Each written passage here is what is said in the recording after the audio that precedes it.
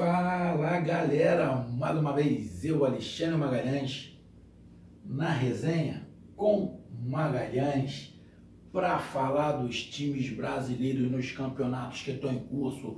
Galera, quarta-feira foi dia de Copa do Brasil, porque a Copa do Brasil ficou dividido aí em duas semanas, as primeiras partidas das oitavas de final e também foi dia de Recopa Sul-Americana, o jogo entre Atlético Paranaense e River Plate, campeão da Libertadores com campeão da Sul-Americana.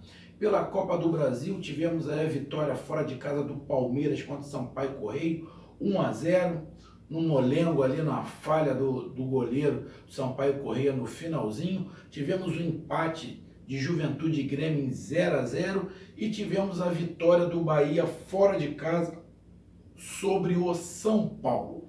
Mas o jogo que vamos falar agora é o da Recopa, é o do Atlético Paranaense contra o River Plate. Então eu peço você, meu amigo, que acompanha o canal Resenha com Magalhães, que você curta, compartilhe, inscreva-se no canal Resenha com Magalhães. Estamos no YouTube, Facebook e no Instagram.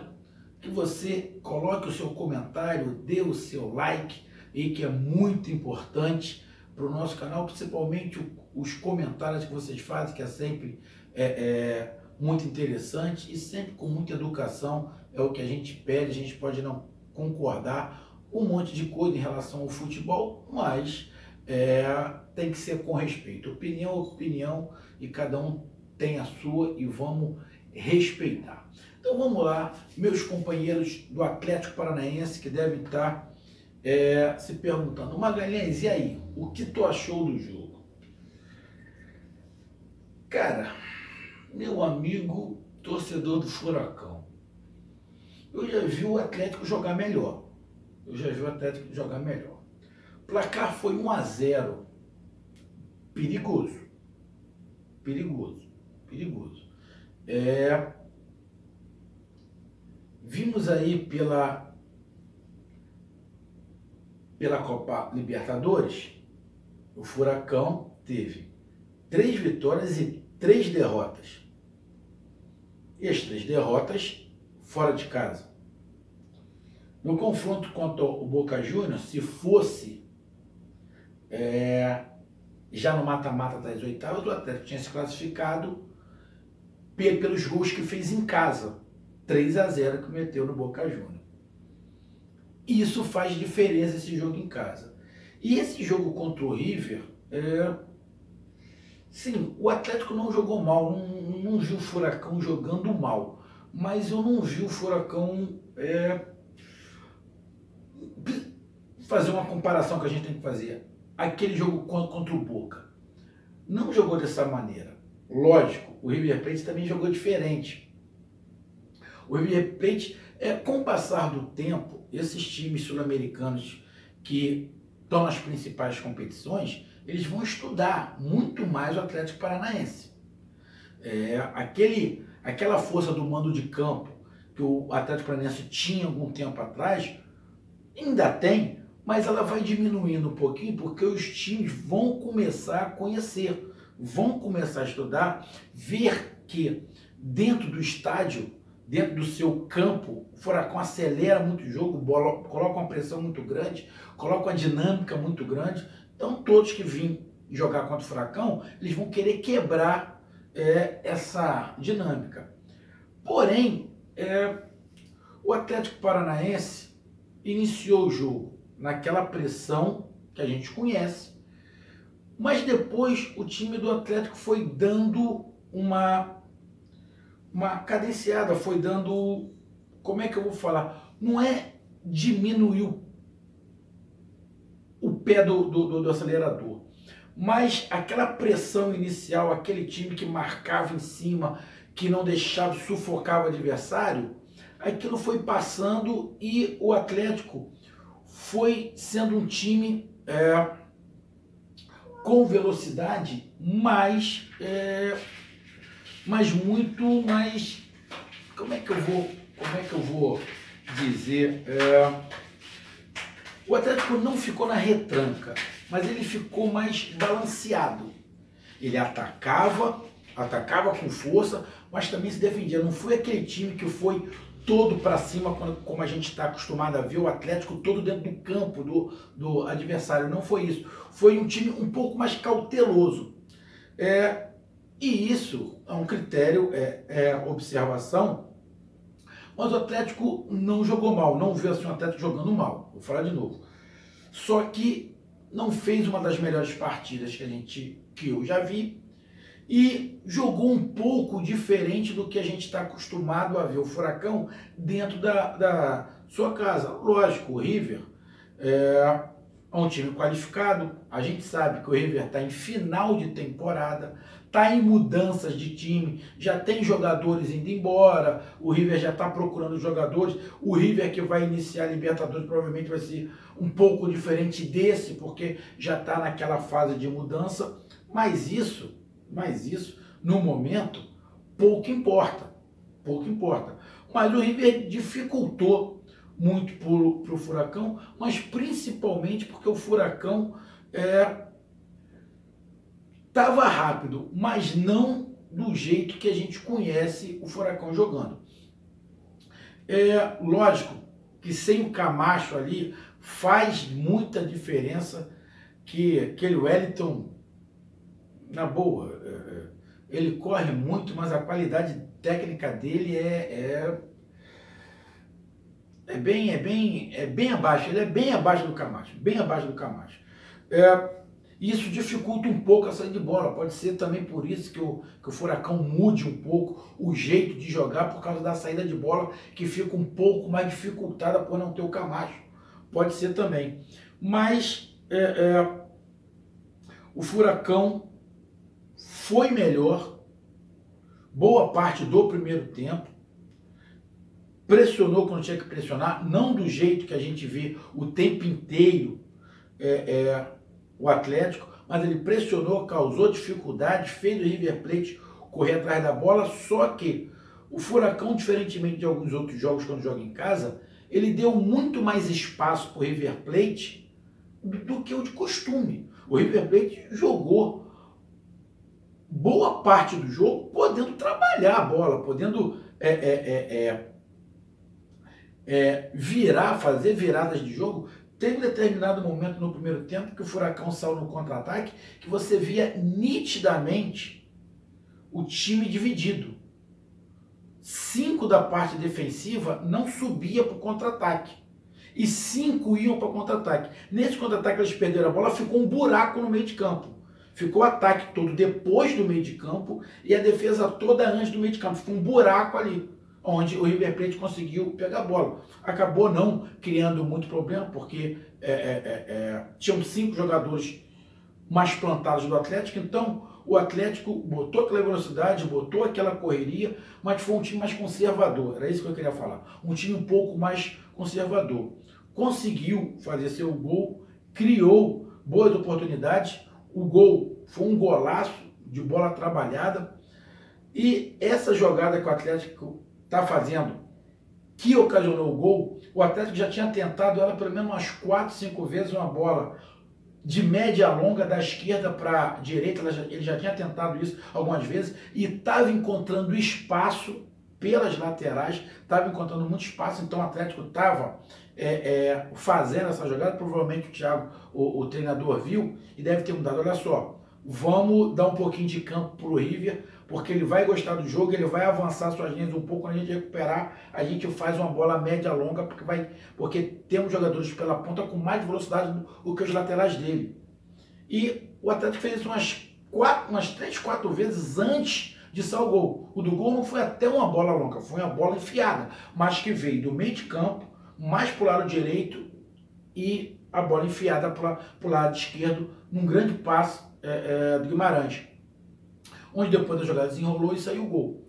É, teve oportunidade sim o Atlético de ampliar até no segundo tempo, mas depois do primeiro gol, o time do Atlético deu uma tirada de pé.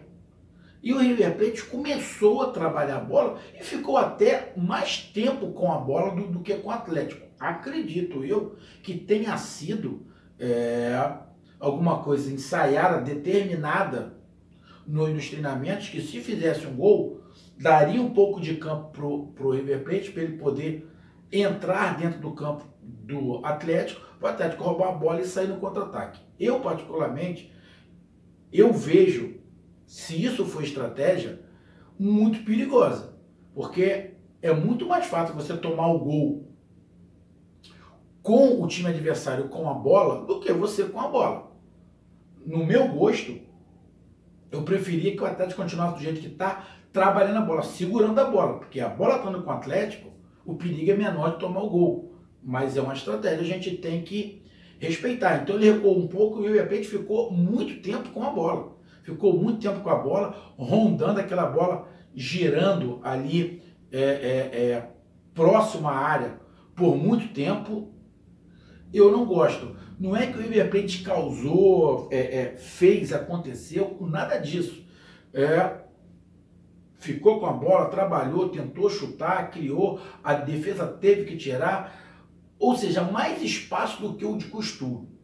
No segundo tempo, continuou quase a mesma coisa do que foi o final do primeiro tempo, a partir do momento que o Atlético fez o gol. O River Plate teve muito espaço para poder jogar. Isso me causou estranheza, porque o Atlético começou dando aquela pressão, deu aquela pressão inicial no, no segundo tempo e depois parou de novo. Ficou um time mais conservador. E esse time conservador do Atlético, ele dá espaço para o adversário. O River Plate trabalhou ficou trabalhando, tocando, tentando, é, os jogadores se movimentando, mas parecia que faltava, sei, não vou, eu não vou falar qualidade, mas parece que faltava um pouco de, de perna para o River Plate ou um pouco de sincronismo. Eles até tentavam, mas estavam tentando jogar muita bola dentro da área, muito chute de fora de área, lógico, isso é ocasionado pelo fato do Atlético Paranaense também fazer um sistema defensivo muito bom, mas é, o Atlético no segundo tempo teve até chances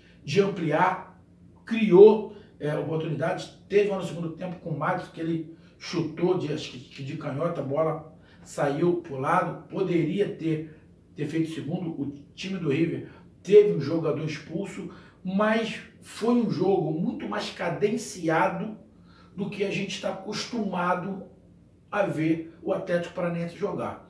Mas o Atlético Paranaense não jogou mal. O River Plate também não fez uma partida ruim, mas foi uma partida é, é, de velocidade mediana. Eu já vi o Furacão com velocidade muito maiores, colocando dificuldade muito maior para os seus, seus adversários dentro do seu campo.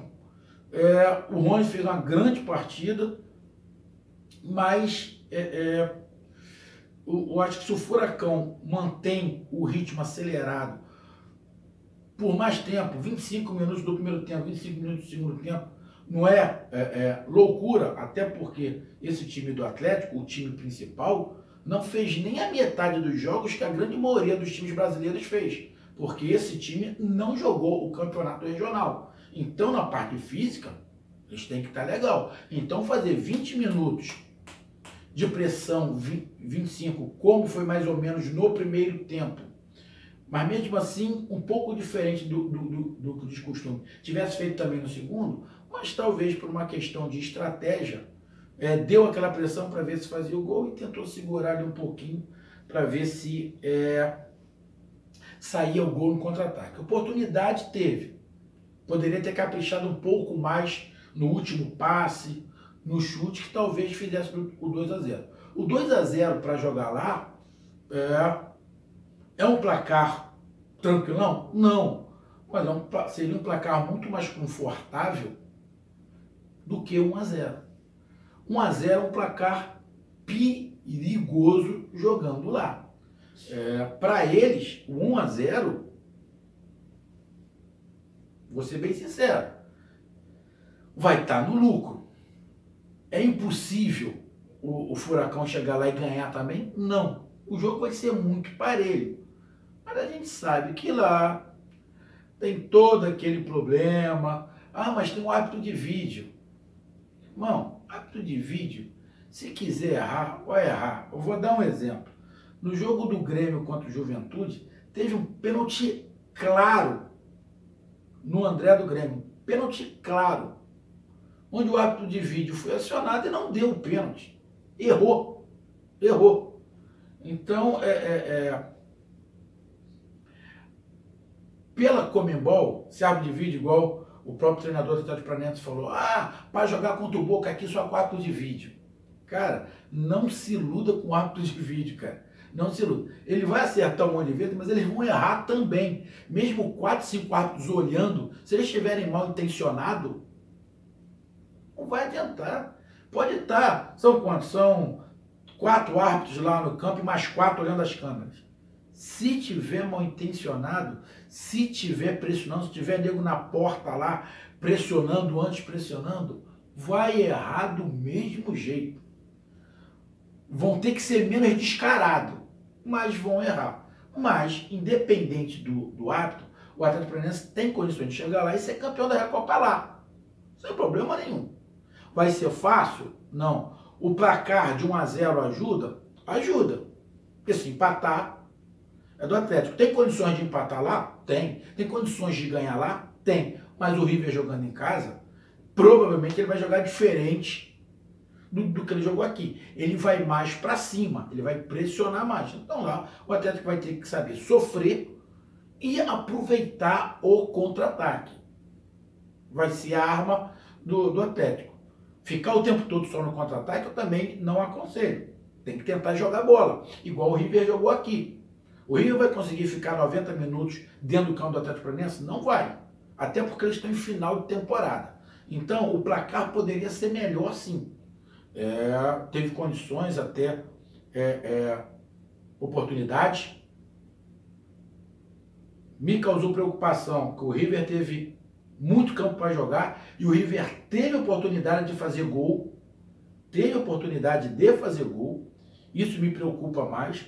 E lá no jogo de volta só com 1 a 0 o Atlético tem que estar muito mais ligado, não perder as oportunidades que vão aparecer. Talvez não sejam muitas. As que aparecer, tem que fazer. Mas isso é papo pro outro jogo. Acho que para a próxima semana, se eu não estiver enganado.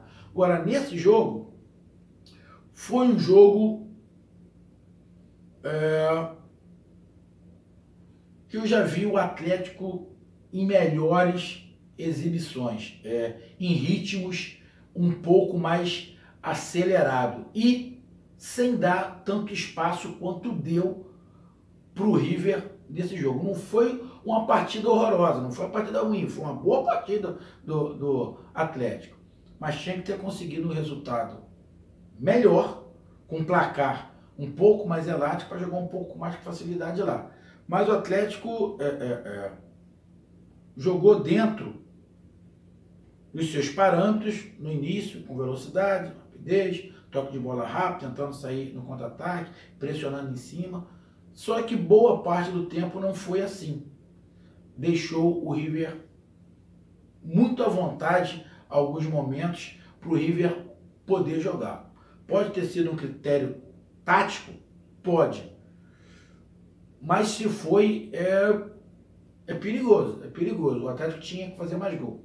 Pode ser que ele ficou cismado em tomar um gol, aí ficar lá complicado, 1 a 0 já estava bom. Pode ser. Não, já fizemos 1 a 0 agora vamos jogar mais cauteloso, sair no contra-ataque, porque o negócio é não tomar o gol. A gente já fez um, o negócio é não tomar o gol. Se a gente fizer o segundo, melhor. Mas um 1 a 0 já está bom. Pode ter sido a tática. Pode ter sido a tática. É, a gente tem que que respeitar. Mas, é, é, é, a meu ver, o Atlético poderia ter feito um jogo melhor. É, lá pode acontecer qualquer coisa, inclusive outra vitória do Atlético Paranaense.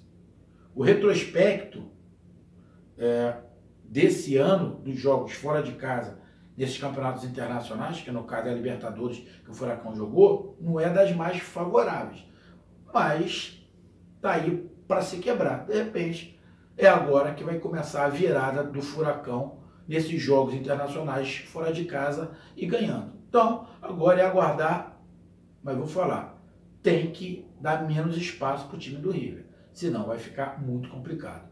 Então, meu amigo torcedor do Furacão, essa foi minha análise. Curta, compartilhe, inscreva-se no canal, resenha comigo, Magalhães, estamos juntos. Um grande abraço, até mais e conto com a participação de todos. Valeu, resenha com Magalhães, estamos juntos, um abraço.